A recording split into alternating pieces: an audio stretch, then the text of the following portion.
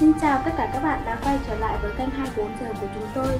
Chúc tất cả các bạn một ngày mới thật nhiều sức khỏe và niềm vui. Sau đây là những nội dung chi tiết. Dương Mịch Lệ diễn bất ngờ được fan ủng hộ cùng lập công ty.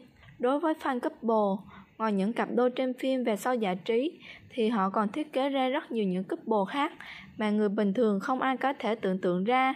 Gần nhất, An nghe qua một thuyết âm mưu mà đến các fan của hai mỹ nhân là Triệu Lệ Dĩnh và Dương Mịch cũng không tin nổi, đó là cả hai sẽ hợp tác cùng mở công ty. Các thuyết âm mưu này vừa được lít ra thì An nghĩ tám phần do fan của couple ngang ngược Lệ Dĩnh và Dương Mịch thiết kế. Cụ thể thì gần đây, Dương Mịch đang có nhiều động thái cho thấy sẽ rời khỏi gia hành. Tin đồn của công ty được tung ra, nhưng gần cả tuần phía trời gia hành và Dương Mịch đều không phủ nhận.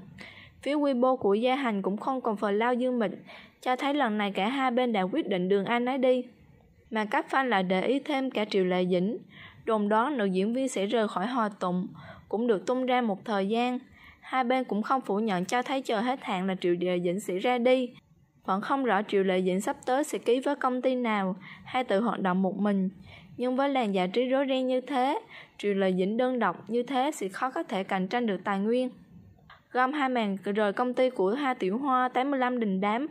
Các fan couple liền nghĩ ra giả thuyết, nghe có vẻ hơi thuyết phục.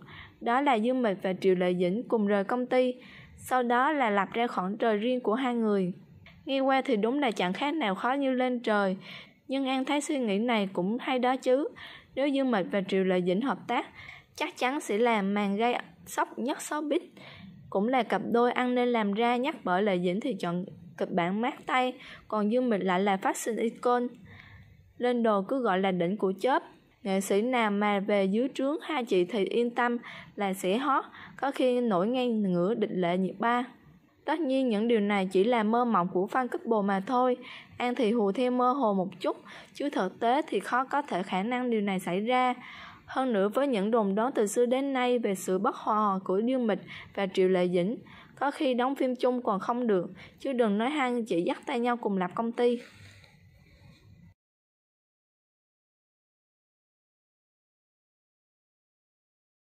Bản tin của chúng tôi đến đây là kết thúc.